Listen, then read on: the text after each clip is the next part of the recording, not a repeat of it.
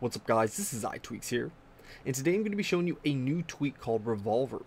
Now this is kind of like Mobius, if you guys remember Mobius, I covered this in the past, but what Mobius allows you to do is continuously swipe through all your pages just like that. So it's always going to start over as you swipe through. So you can go from the first page, which is this page, to the last page just like that.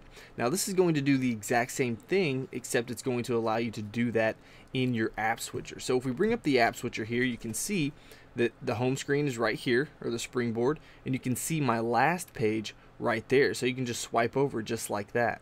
So you can continuously scroll through all of your applications just like that. Now here's the last page and you can swipe over just like that.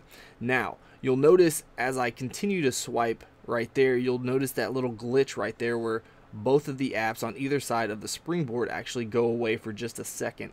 So that is a little bit of a glitch right there. Now you will have to actually go kind of slow when you're swiping through this. If you try to like flick it, you can see that it's not going to work very well. But if you just take your time with it, then you can see it's going to work pretty simply. But again, swiping or flicking it just like that, it's not going to work real well.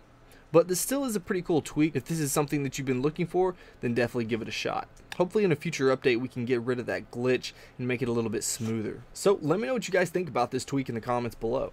And if you enjoyed this video, please hit that like button. If you want to see more of my videos, then go ahead and subscribe. Alright guys, until next time, peace.